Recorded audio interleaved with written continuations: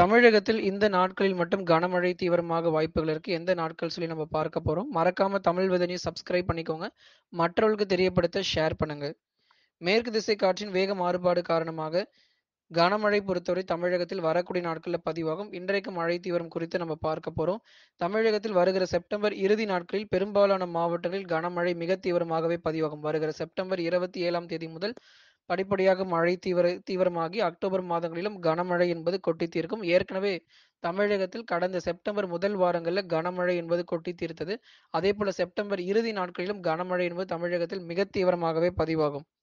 October முதல் வாரங்களிலும் தமிழகம் பொறுத்தவரை கனமழை என்பது வெளுத்து வாங்கும். அக்டோபர் ஒன்றாம் தேதியிலிருந்து ஆறாம் தேதி வரைக்குமே அந்த மழையினுடைய தீவிரம் என்பது தமிழகத்தில் மேலும் அதிகரிக்க வாய்ப்புகள் இருக்கு. வட தமிழக உள் மாவட்டங்கள், வட தமிழக கடலோர மற்றும் டெல்டா மாவட்டங்களும் கனமழை என்பது வெளுத்து வாங்கும்.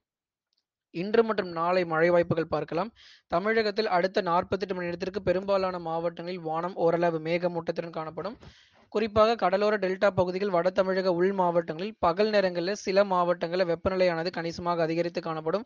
ஆனாலும் மாலை மற்றும் இரவு நேரங்களில் சில பகுதிகளில் லேசானது முதல் மிதமான மழையும் பதிவாகறதுக்கான வாய்ப்புகள் இருக்கு. கடந்த 24 மணி நேரத்தில் தமிழகத்தில் மழை ஏதும் பதிவாகவில்லை.